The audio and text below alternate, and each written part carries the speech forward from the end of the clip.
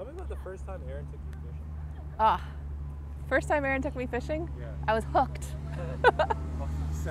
That was for Connor. yeah, uh, there's a lot of collaboration in our lab, and I was super fortunate to uh, collaborate with Aaron Zolderdo last year. And he took me under his wing and taught me a lot about bass fishing. And uh, I, I can't not say I was hooked. I have to say it. I was hooked. yeah. The crux of this project is this idea that when tournaments occur, fish are displaced from their site of capture and released at a common release site typically. And in Big Rideau Lake, that happens to be the eastern end of the lake. That's where uh, there's a number of marinas and typically where the weigh-ins occur for these tournaments. So fish are caught in the main lake, brought there, and deposited and left in that area.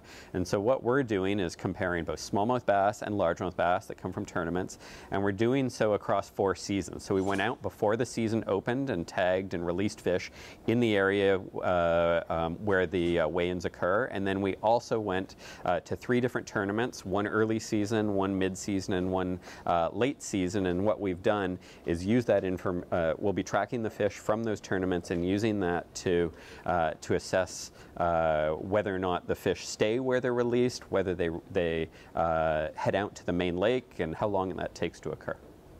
What I like about this project is the number of partners involved. Uh, being a university, we can come to the table and say, "Hey, we've got you know some student stipend that we can contribute. We've got boats, we've got uh, we've got uh, vehicles to pull the boats and so on, and and the uh, the know-how to to do these studies, and then pair that uh, with uh, some financial contributions that we've had from Big Rideau Lake Association in particular, uh, and those uh, those funds have allowed us to go out and purchase transmitters that are that we're using to actually track the fish. But we've also partnered with the tournament organizers that have allowed us to come to their tournaments to access fish and and and track them. we obviously have scientific collection permits from the Ontario Ministry of Natural Resources and Forestry, and they're keen to to see what we found. So this is pretty typical of the kind of work we do, where it's uh, it's not working with uh, with just ourselves in the ivory tower, nor is it working with just one group.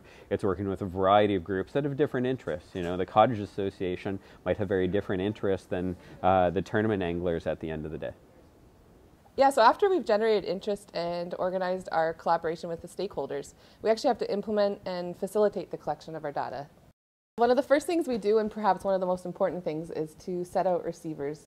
Receivers are essentially a passive listening station that listen for the tags that we put in the fish. We deploy them at key choke points in the lake and they pick up unique ID codes from our acoustic tags.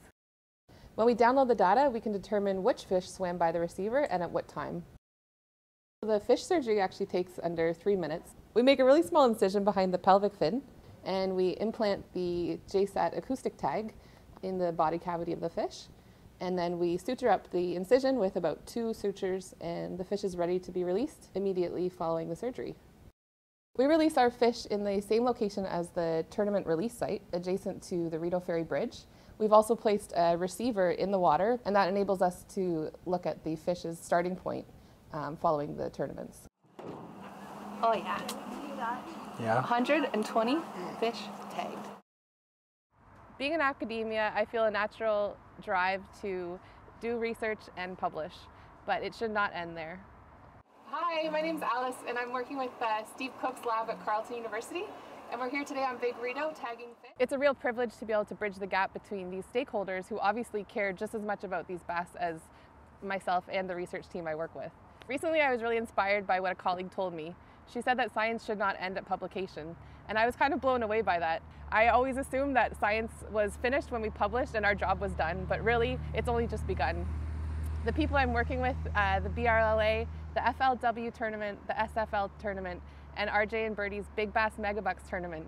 Working with them, it's really become clear that they're all just chomping at the bit to understand more about these bass populations and learn about how they can help conserve these highly sought after species.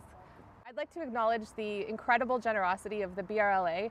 With their support, we have been able to buy 120 JSAT tags uh, in order to monitor these fish. As well, the tournament organizers and the anglers who participated showed incredible generosity as well by giving us their fish. They volunteered them to us in order to tag, and they also divulged their secret information of where they caught these fish. And without them, we couldn't do this study. We all have a common goal. I too want to go on Big Rideau in 60 years with my grandkids and show them how to pop frogs on top water and catch those five pound bass.